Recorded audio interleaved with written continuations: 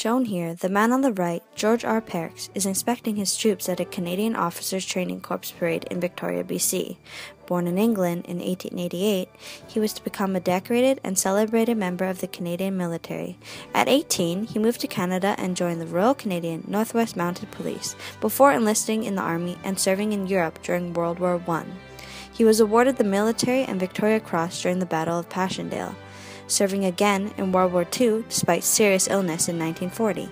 He was put in charge of the 2nd Canadian Infantry, pictured here, dating this photo between November and December of 1941.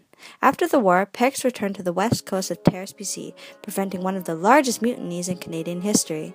Pearkes eventually retired from the army and enjoyed a lengthy political career. He was appointed Lieutenant Governor of BC in 1950.